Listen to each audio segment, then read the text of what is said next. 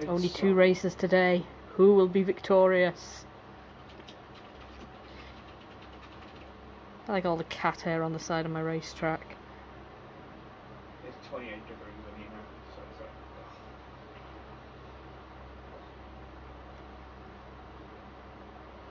No, I'm gonna hop off now. Who will be victorious? Gemma's filming a video of snail racing again. oh no.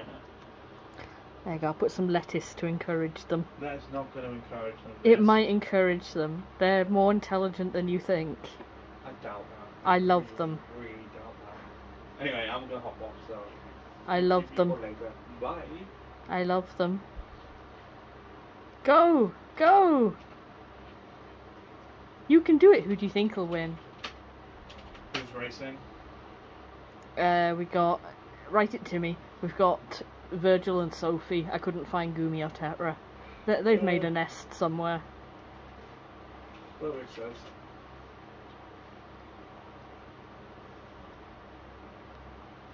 Oh, come on. Nearly there. I actually put the bit of lettuce in because it'll be easier for me to uh, scoop them out That makes sense. without them sticking to the cardboard.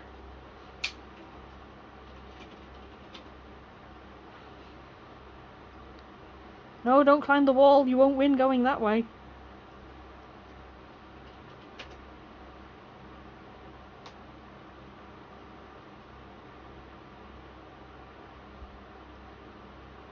Go, go, go!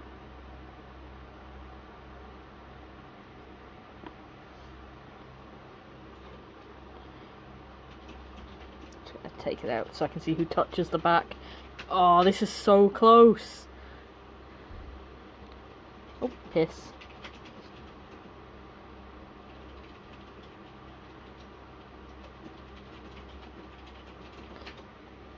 Now that's a bit curved there, so she has to go up onto the back wall. Because that's a slight curve, it, it's not perfectly flat. Oh, this is a bold strategy, Cotton. Will it pay off? He's got to touch the back wall.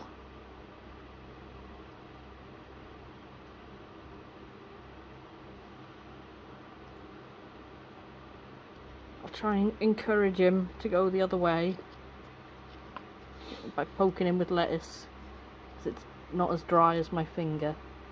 No, don't go over. Go that way. You idiot.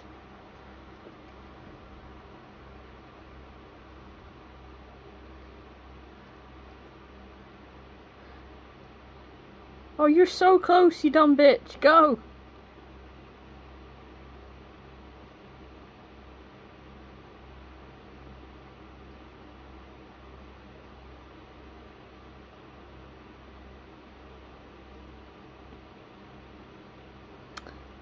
Well, ladies and gents, I think the bold strategy paid off.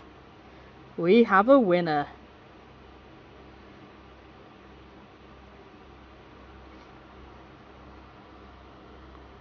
Well done, Virgil. I'm very proud of you. Sophie, why did you stop to have a nap?